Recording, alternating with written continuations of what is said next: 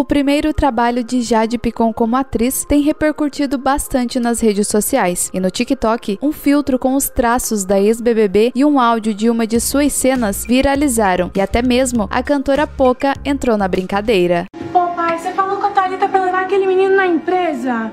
Ô pai, você não pode ficar.